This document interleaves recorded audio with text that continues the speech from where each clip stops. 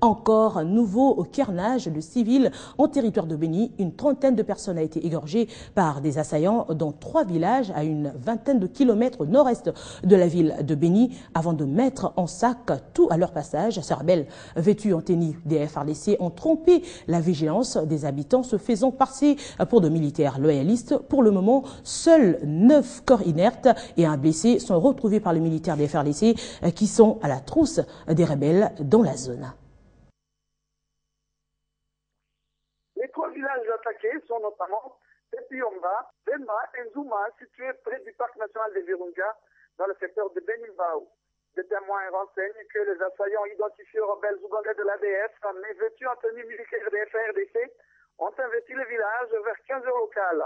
Ils ont fait captif des villageois avant d'en exécuter quelques-uns par coups de machette et des haches, l'opération qui s'est étendue jusqu'à 20 heures.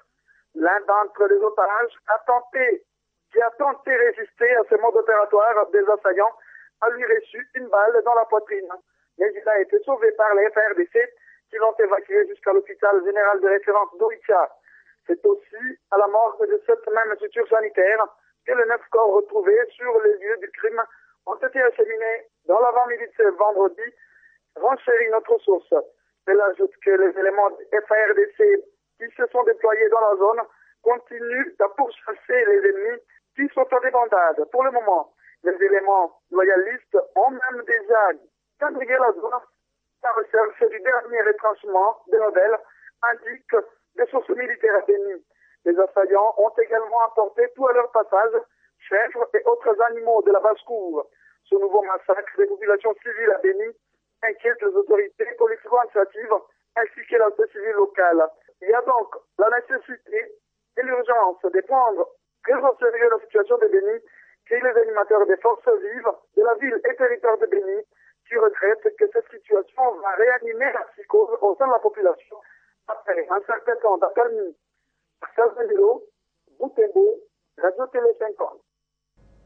Massacre de Béni toujours au Parlement. La loi sur le régime général de la sécurité sociale a été votée ce vendredi et le rapport de la commission d'information sur le massacre de Béni a été rendu public en plénière. Après échange, plusieurs recommandations ont été portées à l'endroit du gouvernement pour amélioration de la situation dans cette partie de l'Est de la République démocratique du Congo. Une autre loi s'ajoute à l'actif du bilan de l'Assemblée nationale.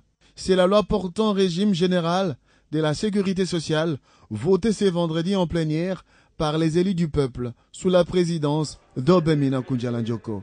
Cette loi votée ce vendredi à l'Assemblée nationale par les élus du peuple apporte plusieurs innovations nécessaires pour la sécurité sociale.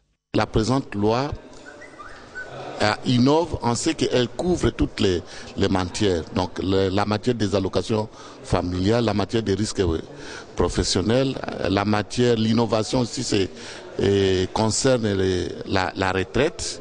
Diligentée après les tueries, la commission d'information envoyée à Béni pour mener des investigations sur cette situation d'insécurité a rendu son rapport ce vendredi. Nous demandons, encourageons que l'on améliore les conditions des militaires à l'opération Sokola et que cette opération puisse être relacée dans les mêmes méthodes, les mêmes pratiques que le général Lissier Baouma avait commencé.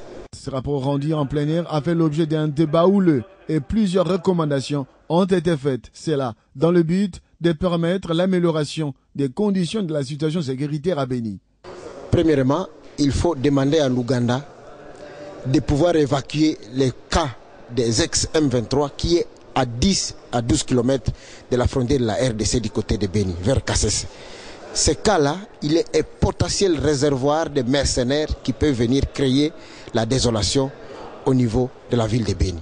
L'application des recommandations faites au gouvernement de la République devra donc favoriser la sécurisation des compatriotes. Tous les secteurs devront donc être mis en contribution pour mettre fin à la spirale des violences perpétrées contre la population civile, occasionnant désolation et perte en vies humaines.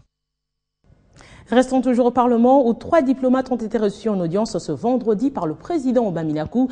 Il s'agit de l'ambassadeur du Soudan, du Japon et celui du Canada en République démocratique du Congo. La mise en place et l'amélioration des échanges des expériences parlementaires étaient le sujet exploité au cours de cette audience. C'est à 9h que l'ambassadeur du Soudan en RDC, Osman Ahmed, accède au bureau du président de l'Assemblée nationale, Obemina Kunjalandjoko. Les échanges entre les deux hommes auraient tourné sur les relations qui devront caractériser le Parlement des deux pays frontaliers.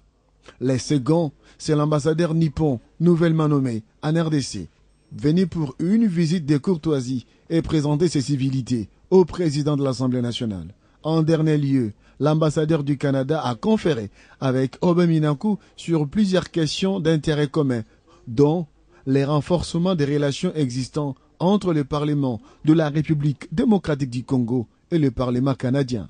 A longtemps euh, essayé d'aider avec euh, euh, la stabilisation et, euh, entre autres le, les violations qui sont faites basées sur le genre. On a aussi d'importants intérêts commerciaux. Euh, des investisseurs canadiens au, ici en RDC. Donc, on a traité de cette question-là. Et puis, je pense que ce qu'on a, euh, on a fait, c'est de réitérer de part et autre notre engagement pour continuer le renforcement de la relation entre les deux pays. Ce ballet diplomatique témoigne des meilleures relations qui caractérisent la Chambre basse du Parlement congolais avec les représentations nationales des trois pays ayant leurs ambassadeurs accrédités en République démocratique du Congo.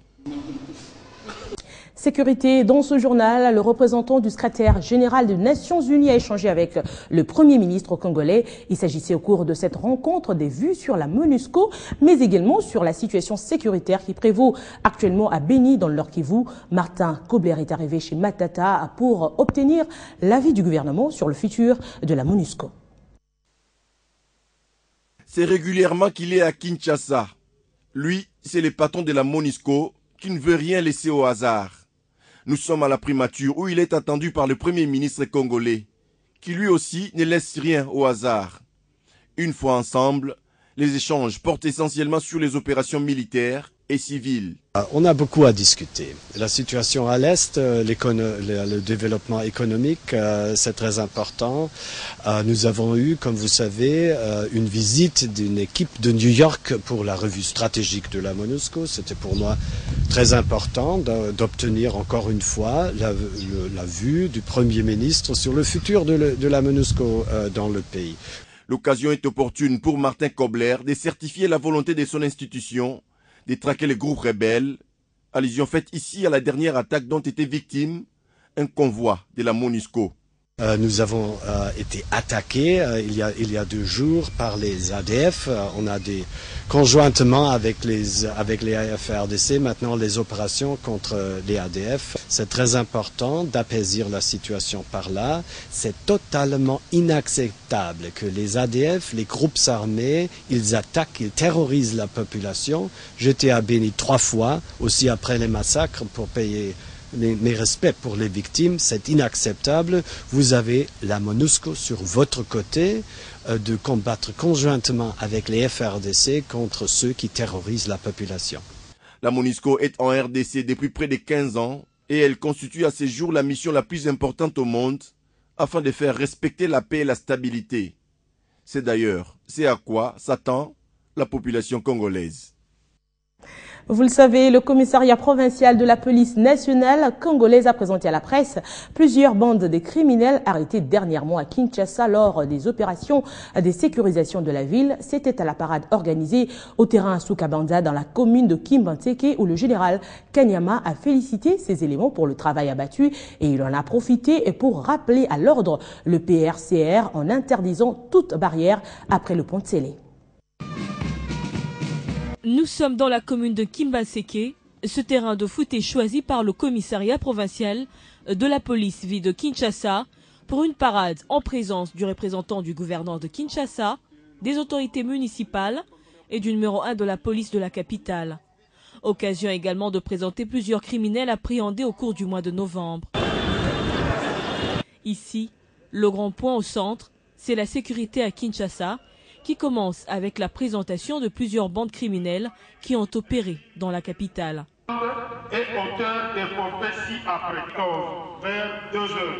Civils ou militaires, ces présumés malfrats opérés à main armée ou à l'arme blanche. Ils devront répondre de leurs actes devant les cours et tribunaux. Mais vous savez que dans la ville province de Kinshasa, nous avons euh, la démographie de la ville province de Kinshasa, c'est plus ou moins 12 millions d'habitants. Euh, c'est presque un pays, c'est tout un continent. Et là où il y a des gens, il y a des petits problèmes. Mais pour la police, le plus important, c'est d'arrêter les gens qui se comportent comme Puisque s'il n'y a pas euh, des actes infractionnels, s'il n'y a pas de tout même les juges ne vivent pas. Je crois qu'il y a beaucoup de choses qui vont disparaître également. Mais notre souhait, c'est de vivre dans une ville où il n'y a pas la criminalité et que nous puissions avoir euh, les statistiques criminelles euh, Le commissaire provincial de la police nationale congolaise a félicité ces éléments pour le travail abattu au péril même de leur vie. Il a par ailleurs rappelé sur la discipline qui doit régner au sein des forces de l'ordre. En outre, les barrières au niveau du pont de Scellé sont levées, a-t-il également insisté, comme quoi pas de tracasserie pour les véhicules qui entrent ou sortent de Kinshasa. Dysfonctionnement de la navigation intérieure dans le bassin du Congo. Une session extraordinaire du comité de ministres de la Commission internationale du bassin Congo-Ubangi-Sanga s'est ouverte à Kinshasa. Objectif, rechercher des pistes de solutions en vue de pallier aux nombreux accidents fluviaux et lacustres que l'on déplore dans la sous-région. Grâce Michel Moutonkoli. Les accidents lacustres et fluviaux, les naufrages dans le bassin Congo-Ubangi-Sanga, reste une préoccupation de cette commission qui intègre l'évolution du droit fluvial international. Voilà qui justifie cette session extraordinaire des ministres d'État et membres de la commission venus du Cameroun, du Gabon, de la Centrafrique et du Congo-Brazzaville pour doter la sous-région d'un instrument de navigation intérieure. Maintenant, nous disposons d'un outil extrêmement important. Ce règlement qui aujourd'hui nous permet de savoir comment on va construire, comment on va équiper, comment on va maintenir les bateaux de navigation intérieure. Si nous arrivons à exécuter ce que nous venons de décider aujourd'hui, nous allons davantage honorer l'engagement de nos chefs d'État. Parce que c'est eux qui ont pris cet engagement. Une session qui se tient au moment où les experts membres du comité de direction de cette commission viennent de terminer le long processus d'élaboration du règlement commun pour la construction, la maintenance et équipement de bateaux de navigation intérieure dans l'espace SICOS. Des stratégies et mesures salutaires pour les RDC qui connaît des périodes noires dans la navigation suite à des surcharges de l'embarcation, à la vétusté des unités de navigation et le manque de qualification du personnel navigant. La RDC, à l'instar d'autres pays du monde, va basculer de l'analogie au numérique. C'est ce qui explique l'organisation ce vendredi d'une matinée d'information avec les analystes, observateurs et membres des services techniques du CESAC. Il était question d'obtenir d'un expert toutes les informations techniques nécessaires sur l'équipement numérique pour le centre de monitoring des médias congolais. D'ici juin 2015, sur toute l'étendue de la République démocratique du Congo et dans le monde, interviendra le basculement de l'analogie au numérique, et ce, dans le cadre de la TNT. Pour le Conseil supérieur de l'audiovisuel et de la communication, l'acquisition d'un équipement numérique pour le centre de monitoring des médias congolais est un outil adéquat qui simplifierait le travail. Donc, en tant que régulateur, puisque nous sommes appelés à, faire le monitoring euh, des médias, euh, nous nous devons de nous informer, euh, nous informer nous-mêmes, nous au Conseil, mais également nos collaborateurs, sur le basculement de l'analogie au numérique, parce que nous sommes appelés aussi à nous doter de cet équipement pour pouvoir continuer à faire de la régulation. Parce que si nous continuons à faire de la régulation avec cet équipement euh, analogique, euh, une fois que nous allons rentrer dans le numérique, nous ne serons plus à même de pouvoir suivre euh, les médias pour faire euh, le monitoring. En quoi a consisté cette matinée? Pour, pour le CESAC, puisqu'ils sont euh, en analogique, et quand il y aura euh, fin de signal analogique, si on reste, si le CESAC reste dans cet état-là que vous voyez derrière, euh, le, CESAC ne pourra plus rien faire parce qu'il récupérera aucun signal, puisque les signaux sont serrants en numérique. Donc du coup, le passage au numérique euh, maintenant est primordial pour le CESAC, pour qu'ils puissent déjà commencer à scruter même quelques chaînes qui sont ici au Congo, euh, des chaînes qui sont numérisées. En effet, L'adhésion à ce système permettra au centre de monitoring de médias congolais d'obtenir un traitement informatique complet de tous les documents